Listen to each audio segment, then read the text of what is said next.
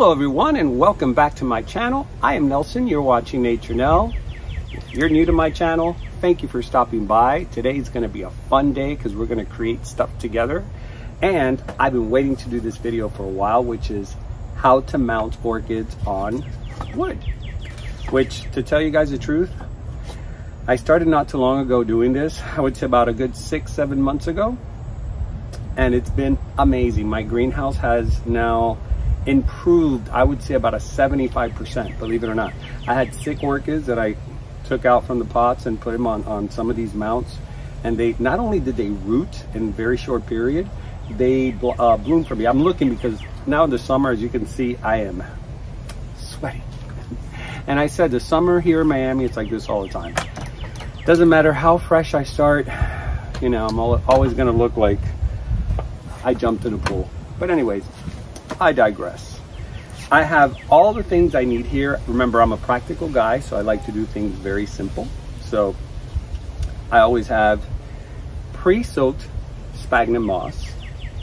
Okay, you just grab uh, some spag moss and, and add water to it, leave it there for a while, so that way it's nice and soaked. And the reason I, I pre-soak uh, moss is because sometimes like bulbophyllums, you don't want to put them bare roots on a on a mount because they will die. They need a, a lot of moisture. And I know some of you viewers, Nudie, you had asked me on reference to you ordered some some mounts from the orchid supply store and, and you had left me a message saying, do I use moss? And and the answer is yes and no. if it's um, a dendrobium, which I will be right back because Nudies, I know you're watching and I want you to see your gift. This is a dendrobium that my viewer Nudie gave to me and she's also a collector, also has a YouTube channel and Instagram and has amazing stuff. And she gave me as a gift uh, uh, some cuttings of her dendrobium uh, from the last, not the last show, but one of the sh uh, shows at Ophi's. And um, I put it on a piece of wood. I had it like on this little cup and I decided to just put it bare root and I'll show you how well it's doing. And I, she gave me this dendrobium about, I would say, four months ago, maybe. Want to come up on the table? Here it is. She's gorgeous. And I, I, this is one of the first pieces of, of wood mounts that I got from uh, the orchid store when we were first testing them out.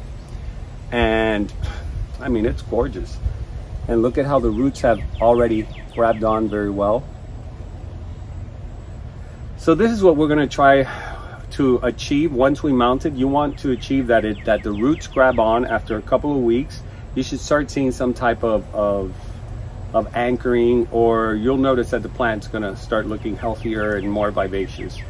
But she had given me, it was two, I think it was like two little pieces and she's gotten very big. I'm trying not to get the shadow because my greenhouse has paneling there's shadows. So I'll put this here away from danger. So let's get started because I don't want to make this tutorial like all chatty and and less work. It's really easy guys. I'm going to show you how simple this is. I always wear gloves no matter what. I don't know why. I guess it's just because I'm I'm in the world of hairstyling. I did I did go to the Paul Mitchell Academy and I got to tell you, it's one tough school.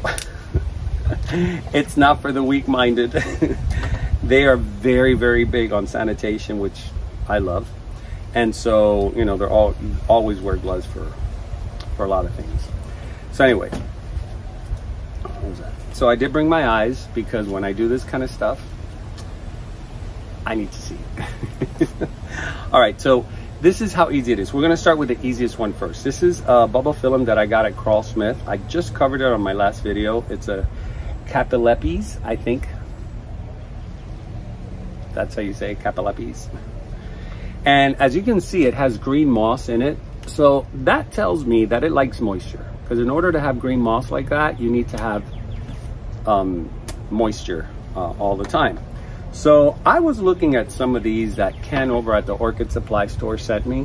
One is a little bigger than the other, and I kind of like this for this. See? What do you guys think? I know it's tiny, but because the other option was the bigger one. Where is it? But I was like, eh. Mm, too big. And then this one was the one I grabbed yesterday. I think it was this one, yeah, that I put down here. And I really kind of like the simplicity of this, you know, like the long piece here and then this here. So I'm thinking maybe this one. I think I'm going to do this one. I'm tossed between two lovers. tossed between two lovers. Feeling like a fool. I don't know. I wish you guys could yell at me right now and tell me the right, the left.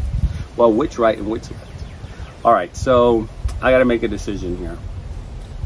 Um, let me see. That's it. Made it. Who picked this one?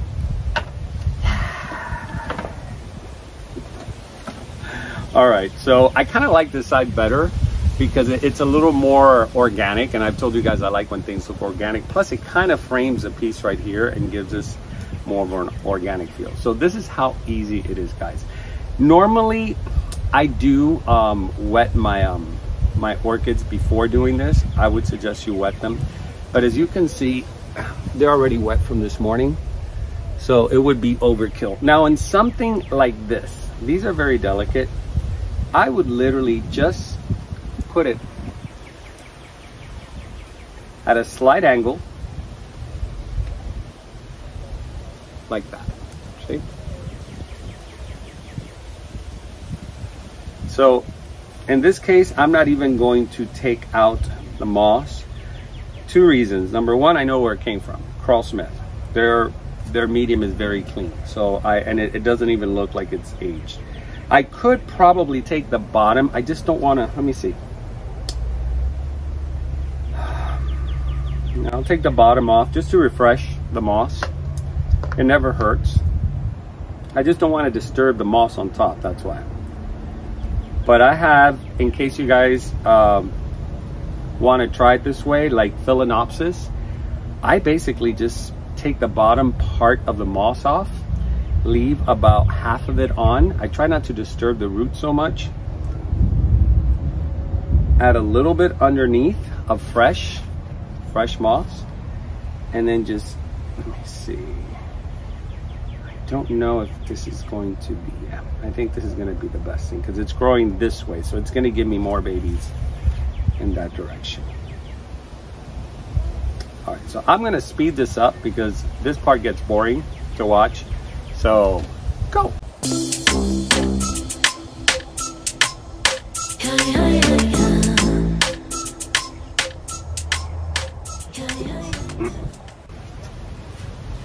All right, I'm slowing it down now just to show you guys because I mean, it's very simple. There's Ken pre-drills the holes on these woods. So, I mean, it's really, really easy, guys. You basically grab the back and you twist. That is it. There's nothing more to it. And it holds it like that. That's it. You're done. So what I like to do just to secure it a little bit more, this one's a tiny one. Um, I may run it again. On this one, I don't think I am. What I'm going to do is I'm going to put um, Spanish moss around it just to keep even more moisture. Uh, but it's pretty much it. That's There's not much to it. That's why I like the small ones because the small ones are easy to mount. They don't weigh, so they're not going to weigh themselves down. Now, I cut these. These are the actual pieces of, of hanger from like the Vandas um, sorry guys, the sun is so, so, so bright and this, the glasses make it worse. Okay, so these are the wires that we use for hangers for like um, vandas and baskets and things like that. So when I have some retired ones or old ones, I just cut them with a with one of these. And look, it's like it's like nothing. It's really, really because this stuff isn't it's tough, but it's not, um, what do you call it? It's not, uh, it's, it's very pliable. It, it bends and it cuts easy. So this is what I've been doing. I put it through here, right? I bend it all the way this way. So I put it through the front and then I twist the back. This is something I started doing not too long ago because I find that um, that it, it hides better the, the hook. Before I was doing this little ring thing and I was like, you know what? I don't need to go through all that trouble.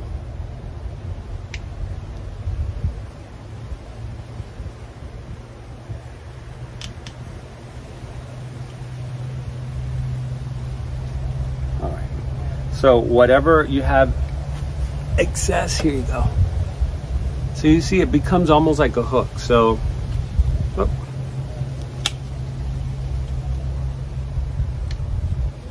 see I spoke too soon. Hold on, let me do the sitting down. These are my, my real, my good pliers. Lewis took and I don't think he returned because I can't find him anywhere and I highly doubt the cats are going to take them. So that's it. That's pretty much it. All right, wood's falling. All right, guys, so that's how easy I do it. You guys can be creative with the hooks. It really doesn't matter. This for me works well. Um, here, let me show you. Let me see if I can just grab the camera because I have it on the AI and sometimes it acts weird. See, this is, uh, let me see if this is bright enough. Yep, okay. So see, I'm gonna cut the other thing, but this, you just hold it like that. And look how easy. And it's a very lightweight thing. So there, there you go. I'm gonna cut this now. Let me put the phone again. Sorry, I've never done it like this before. oh, man. Yeah, because it, it, the AI wants to kind of go with, uh, I'm sorry that I'm there. So anyways, that's pretty much it, guys. It doesn't really, and then you can just take I'm gonna borrow from this from this Vanda. it's just that this is this Vanda's uh, Spanish mosses. So so you see this? This is all Spanish moss. You can uh, get these from your local nursery. They actually do sell them. And I like to sometimes just kind of wrap them around. Now this is a really tiny one, so you don't want to like overdo it.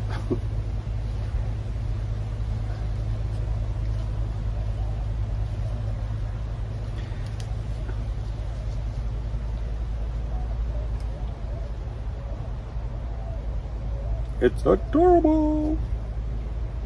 For me, this is therapy. I mean, it's easy, it's fun, therapeutic. I mean, you see these in the shows and they'll charge you easily for something like this 40, 50 bucks and probably even more depending on, on the orchid that's on there. I don't want to put too much of this. Um, but it's all in the presentation. You know, if you give it a nice presentation, something that you paid little for could now become really valuable here. This looks better. I took some of the sphagnum moss. But look how pretty. It just looks like a piece of nature growing off of the bark of a tree. All right, so shall we do another one? Shall we play a game? All right. I quote movies all the time.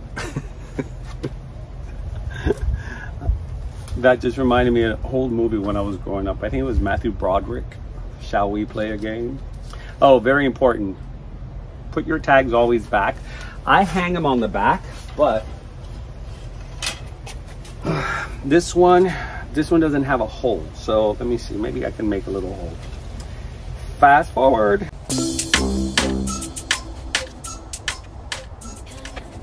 All right.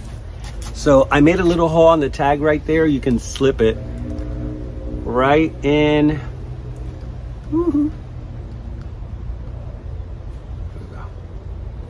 I want to pinch myself because I'm doing this without my glasses. All right, I'm gonna have to adjust it a little better because I didn't have, a, that'll work. It's not gonna fall off.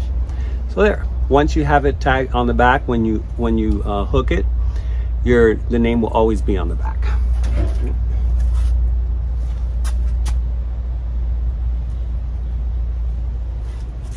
How pretty. All right, guys. Actually, you know what? I did, I pre uh, fixed one already because they sent me this one that looks sort of like slices from like a sort of a trunk or maybe a big branch. But I love it because it has such a beautiful shape. But I'm thinking about doing it like this. So that way when you're looking at it, the plant is in the center because like this it'll look pretty but I think it'll look nicer as a sitting plate so I already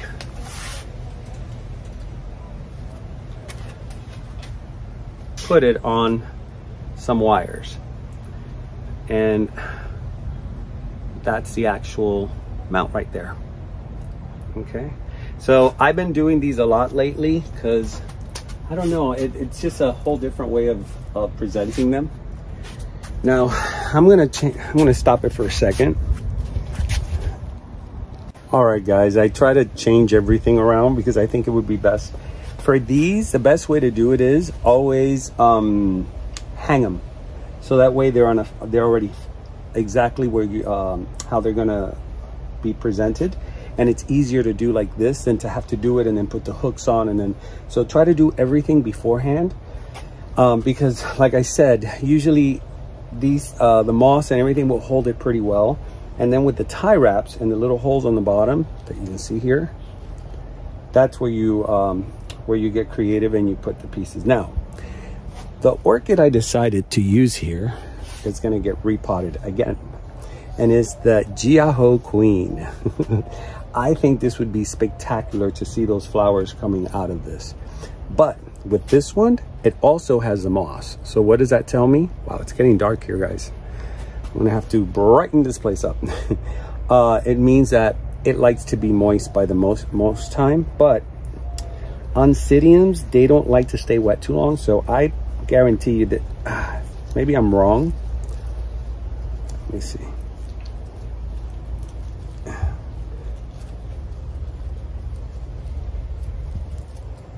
Here we go. So it's on full sphagnum moss. That's all it is. So I guess this one in particular likes, because somebody did tell me that these do like to be on the on the more moist side. So I think this would be the perfect home for her. Look at that. So let me take out some of the moss and I'll speed it up for you and I'll see you on the other side. All right, so I got them undone. Now those were two. I got one from Smiley. It was a gift from Smiley. She gave me one of those. And then the other one was from Brethren. And I got that one at the, um, oh my God, what was this place called? I've gone to so many shows. Carl Smith. The Carl Smith, uh, oh, I think it was uh, spring or Easter, Easter, Easter fair.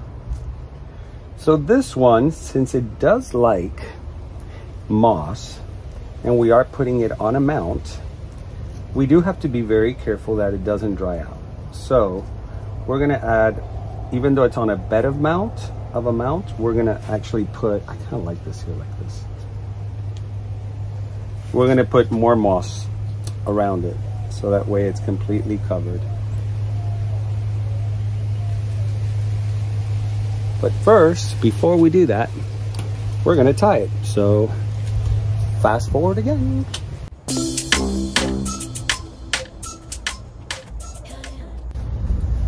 that one was a little more difficult only because um, there's two of them in there. So they kind of like were kind of pushing each other away. I was like, come on, cooperate. You guys are family. Because by the way, if you do this with different types of orchids in one, um, at least for me, it hasn't worked. There's something about it. They just don't like to be you know, when they're different species, I've done like different phals together in a whole, you know, one environment. And it didn't work. I had to dismantle it. So, but I but I do bundle up um, same species or same hybrid, and that seems to work perfect. So if you guys want to go ahead and like these little minis, the best thing to do is buy a couple of the same, only because it'll give you more volume and a lot more blooms uh, during their blooming cycle because they only bloom once. Uh, well, most species are known to only bloom once a year. Uh, so you want to make it a big bang, you know, when it's when it blooms, you want it to really bloom. so anyways, guys, look how cute this turned out. Now I do have to clean it under here. You know, I just, this is just showing you exactly what I came up with while we were conversating. oh, all right. And then of course it has this little hole in the bottom. So I should have put a screen in there, but I don't want to do that. I just want it to be as natural as possible. So that way the roots do start going under through that hole and out and it's going to create a really nice, really nice effect. I just tucked it all in there. Now I could go ahead and put some Spanish moss, but I think it would be a little overkill on this one. Because, I mean, it, it, it just looks so organic. And now I always have, well, this one, this one's clean. I know this one's clean because see how burnt it is?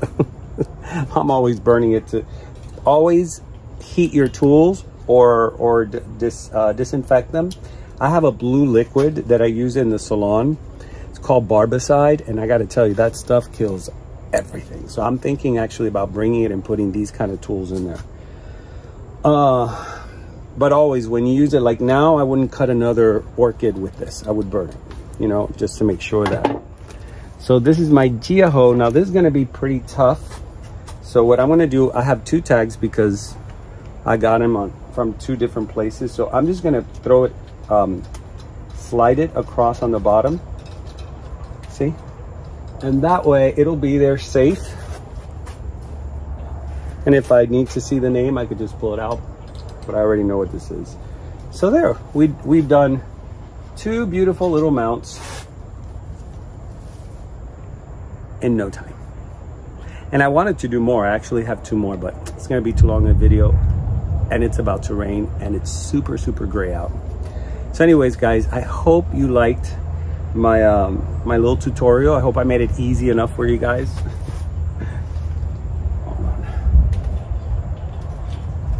Hold on. All right, I think I'm gonna have to close it up here because it is raining. I'm feeling drizzles and it's a storm. So, God, it's really gray out. anyways gray and hot. So i hope you really liked what i did. I've been wanting to do this for you guys uh, for a while now and i just haven't found the time. And blanca and i we have spoken about doing a, a mounting plant mounting party. But you know summer is really hard for everybody. So i figured now that i have a little bit of time and i wanted to do these uh, i've had these like in the back of my mind um, i took advantage of it. So thank you for sticking by I hope to see you in my next episode. I am Nelson. You're watching Nature Now. And remember to always, always go back to nature and keep it green. See you next time.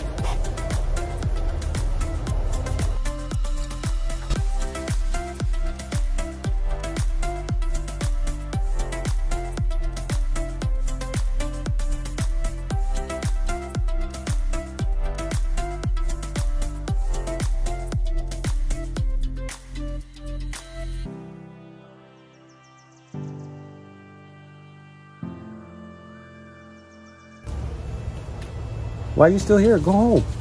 Go to another channel. Wait for the next episode. I promise I'll bring you back another episode.